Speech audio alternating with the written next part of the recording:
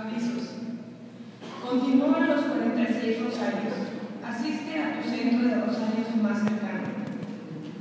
Renovación en el Espíritu Santo te invita los, te invita los siguientes miércoles. Día 3 de diciembre, peregrinación de casas de rosario y bendición de imágenes, rosarios y medallas.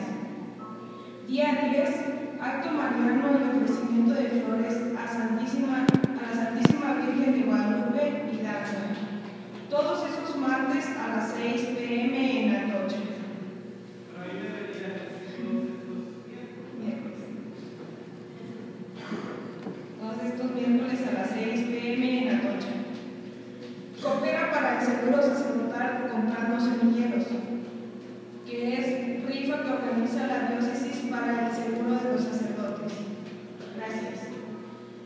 pase la familia Lumbreras González